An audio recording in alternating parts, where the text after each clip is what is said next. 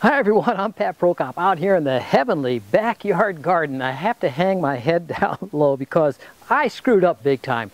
I let the uh, rig here get caught in a cable snag and I wasn't monitoring it.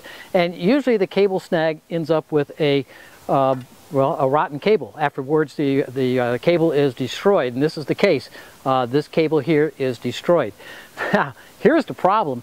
I was connected to the computer up here to the mount over here. Yeah, the mount. This is the AQR6R Pro, EQ6R Pro, and what happened was the torque on the uh, mount itself ripped this cable out of its port.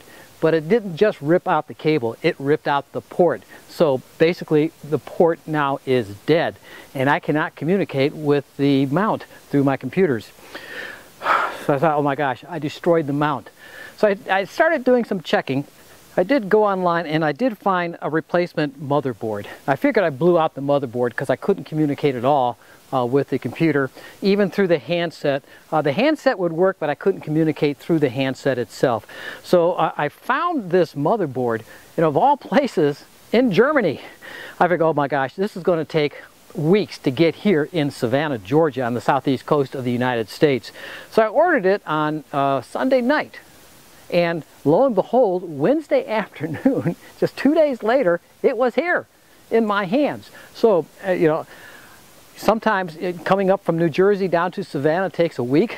From Germany to Savannah, this took two and a half days, basically, to get here. So I'm very pleased about that. The question is, is this the problem? Will this motherboard replace uh, the malfunction of this motherboard that I probably blew out uh, when I ripped that cable out because the port itself is just shredded. Uh, it probably shorted out itself, maybe blowing out portions of the motherboard. Anyway, let's put this one on. So the first thing I got to do is take this one off.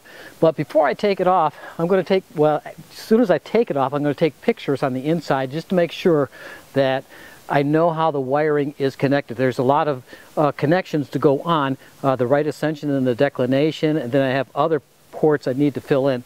And which port goes and which plug goes into which port, well, I do have an instruction set. Now, the initial instruction set came in, well, German. but the, uh, the visual uh, um, uh, instruction set that was basically in English. It's in any, any language. It's all basically just uh, views, but it does have English words to it, so I'm, I'm pleased about that. So let's take off the old plate and put on the new plate and see what happens. First thing I need is a Phillips head screwdriver. There's four screws here in the corners. You don't want to take these screws out here because those connect to the motherboard. Uh, or actually those connect the motherboard to the plate here. Well, I want to take these four screws off here in the corner. So let's do that. I got a big towel below me in case I drop anything, but uh, I got a bucket here to put the screws in. All right, that part is done. There's the motherboard coming out. There's not much play in here. There's some tight wires involved. Um, I just took a picture, and this is the picture of the inside. And uh, I can see the right ascension and the declination motors here. Uh, and uh, okay, now the next thing I got to do is replace these cables. Uh, pull one out on one and put it in on the other. So let me get the other one. All right, I got my needle nose plier. And this one here comes out. Pull that out. Comes right out. They have it wrapped around That was in the second position there. So here's the uh, here's the diagram. It's in English. That's good. Um, so this is the EQ6R Pro motherboard here. So that wire I just took out is the right ascension worm. So that will go in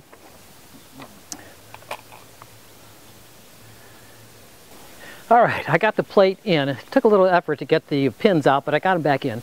Uh, I just plugged in the um, uh, SynScan hand controller. Let's see if this works. Let's look. There's the right ascension. That's working. And let's put it back. And the declination. See if that works. Declination is working through the hand control. All right, so far so good. I'm going to disconnect the hand controller right here. I don't have everything on tight yet. And I just plugged in the USB to the computer. So let's go inside and see if the uh, inside works, if the computer itself works with the USB connection here. All right. All right, the first thing I want to do is look at the uh, device manager on the computer and it does show the three ports available. So this, I believe here at COM port 9 is the, uh, the mount itself. So let's go into N.I.N.A. and see if I can contact uh, with the mount with uh, EQMOD. Right here.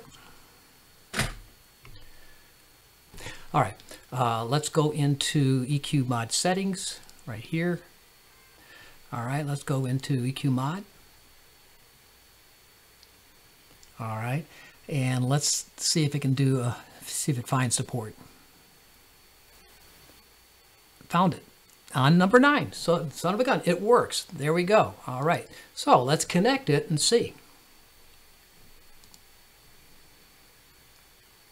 There I am right there. All right, and we're looking at the mount right now. So let's uh, see if we can move it in the uh, north and south and east and west directions here. So let's see if it's moving. And see if it's moving.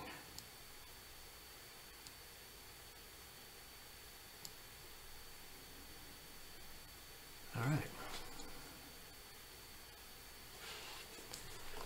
Let me take a look at the mount itself. Did it move? It did. All right. I'm happy. All right, let's put it back. Let's just park it back.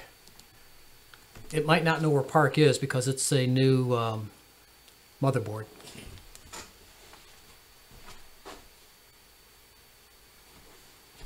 No, it's doing pretty good. All right, so far so good. now, can I keep the cables from snagging? Well, I tell you what, cable snags are a pain, but this one was a costly pain. $289 to get that new motherboard. But that's a lot better than buying a whole new mount at $2,500. All right.